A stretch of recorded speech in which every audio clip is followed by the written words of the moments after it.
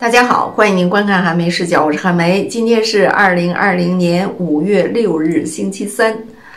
大家还记得不记得，在二零一八年十二月一日这一天，呃，有三件事情和中国有关，在同一天发生。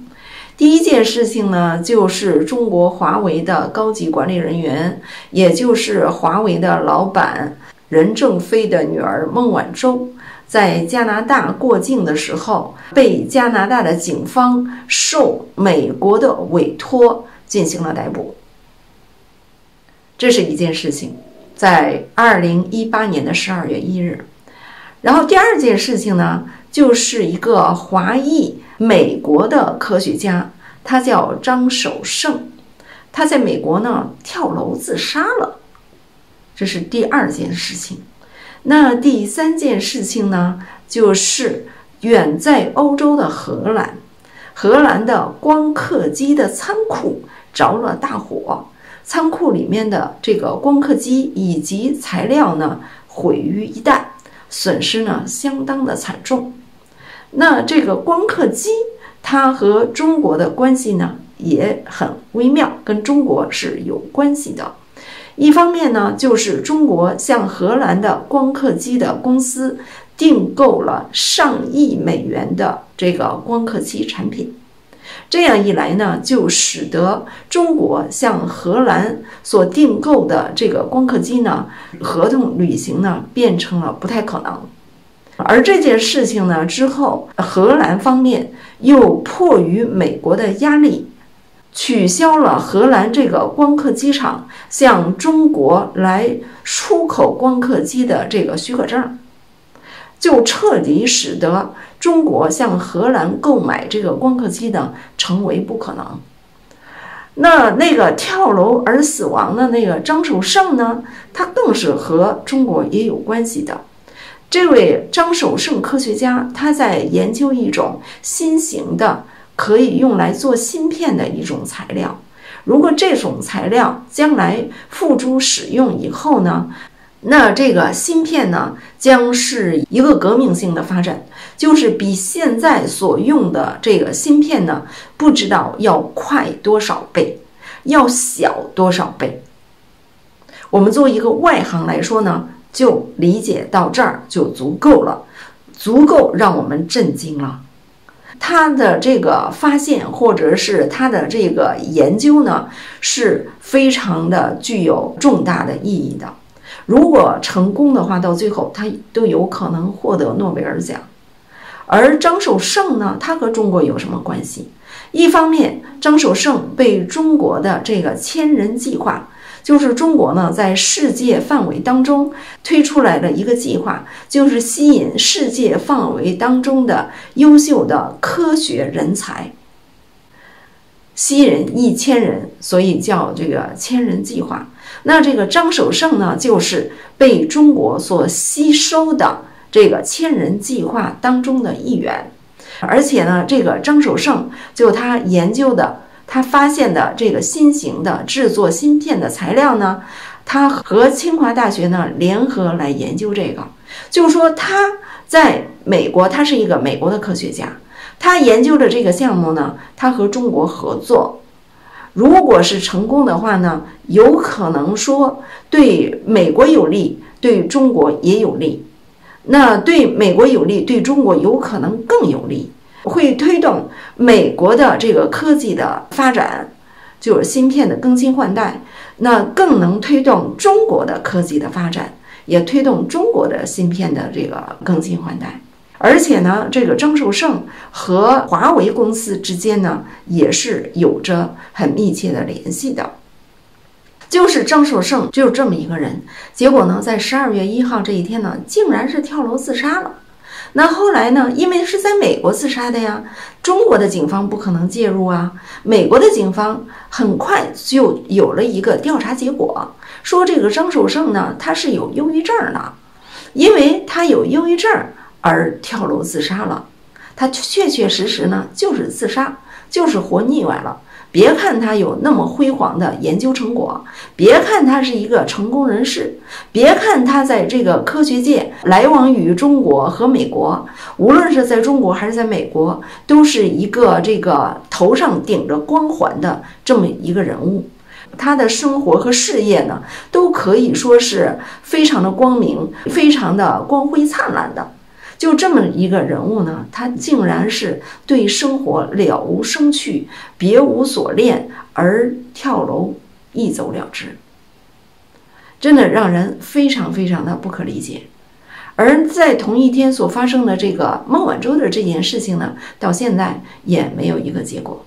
那这三件事情让人不得不联想到，这里面。就是由美国和中国之间这个利益之争，因为中国在这期间跟这三件事情里面呢，中国都能够有这个巨大的利益，让人不得不怀疑呢，这里面的背后是美国的一双黑手。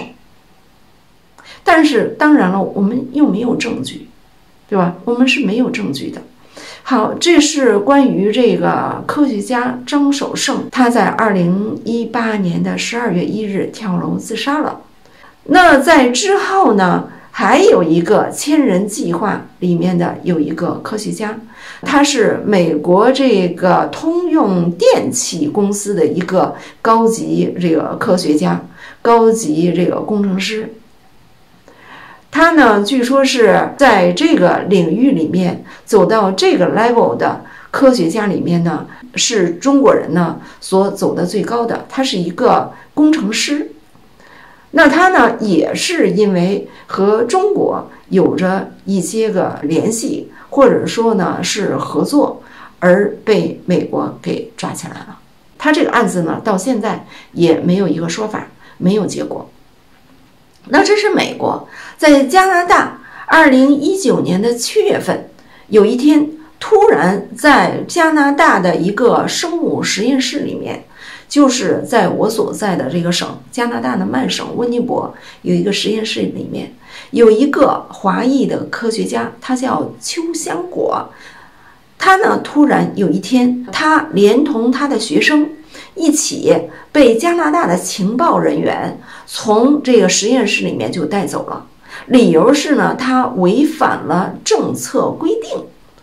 到现在呢，他这个案子呢也是不明不白，现在呢没有说法。请注意，他是一个病毒学家、病毒专家。呃，据说呢，说他这个秋香果呢和中国武汉的实验室来往密切。他曾经呢，有是一个月啊，还是一个礼拜，到武汉这实验室呢几次，来往于这个从加拿大到武汉实验室去拜访这武汉实验室几次。但是呢，据我所知，他到武汉去拜访的这件事情呢，是光明正大的，也不是偷偷摸摸的。但是呢，就是不知道加拿大的情报机构把他给抓起来，到底是他违反了什么？说是违反了政策规定，但是这个政策规定就能够抓起来吗？反正到现在呢也没有个下文了。好，这是呢在加拿大的华裔的科学家，是研究病毒的，他和这次疫情呢其实还关联性挺大的，对吧？研究病毒的呀，不知道呢他和这个新冠病毒有什么关系？将来呢，应该会水落石出。那今天呢，我为什么说跟大家说了以上的这一些？因为今天呢，美国《华盛顿邮报》做了一个报道，《华盛顿邮报》做的这个报道呢，今天引起来了一个挺大的一个轰动，尤其是在华人中引起来了很大的反响。大家呢，对这件事情呢，有很强烈的一些个猜测。华盛顿邮报他所报的这件事情是什么呢？他是美国的匹兹堡市郊罗斯镇，他在二日的时候发生了一个命案，三十七岁的华裔男子，他叫刘斌，在家中中了多枪死亡。附近呢还有一位男子头部中枪死亡。这个刘斌呢，他的头部、颈部、躯体很多的部位，呃，很明显的是中了枪伤。